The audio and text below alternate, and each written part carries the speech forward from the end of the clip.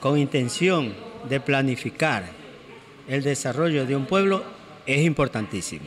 Y justamente esto, este taller que se acaba de realizar, yo de la misma manera le doy ese valor, por cuanto eh, tantos planes y programas que se llegan a formalizar en base a, a la actuación de cualquier funcionario debe ser conocida por la ciudadanía.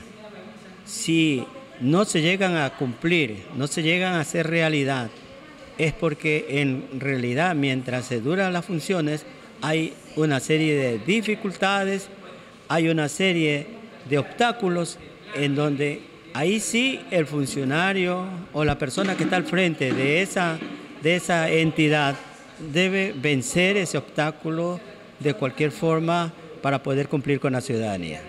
¿Qué le dicen los moradores del sector que representa? Bueno, yo represento al Consejo Barrial Unidad Básica número 2. ¿no?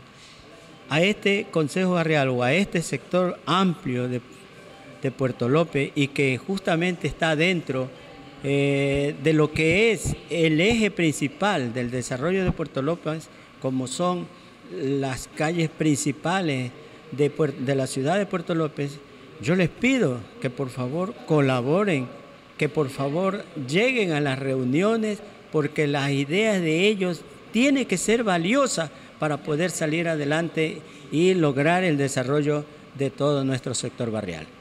Dirijo el Consejo Barrial Unidad Básica 2, que, que concentra o que está integrado por el, el barrio central, barrio Víctor Menéndez, barrio 12 de octubre, barrio Julio Isurieta, barrio Nuevos Horizontes y barrio Bellavista.